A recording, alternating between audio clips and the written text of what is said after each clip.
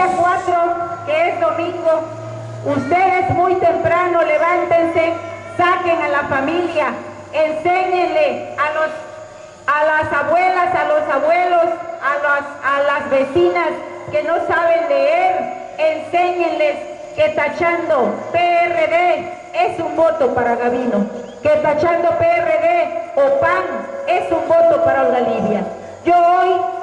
represento al Partido de la Revolución Democrática, pero afortunadamente para nuestros amigos panistas de Copala también pueden tachar el PAN. ¿Por qué razón? Porque el PAN también respalda a Gavino. El PRD respalda a Gavino. El PAN respalda a Olga. El PRD también está por Olga Livia.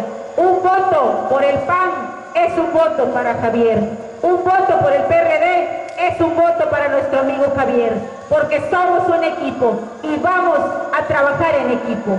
Por eso les pido finalmente que nos ayuden, ayudemos a Gavino, ayudemos a Oaxaca, saquemos a la gente a votar y a las 2 de la tarde no habrá ninguna duda que Gavino será el gobernador, que Olga Lidia será la próxima diputada que trabajará para su distrito y especialmente para mi municipio. Y con alegría les digo a los campesinos, a los hombres del campo que están en puerta y la próxima semana están por autorizar proyectos que van a significar mucho para los que siembran maíz.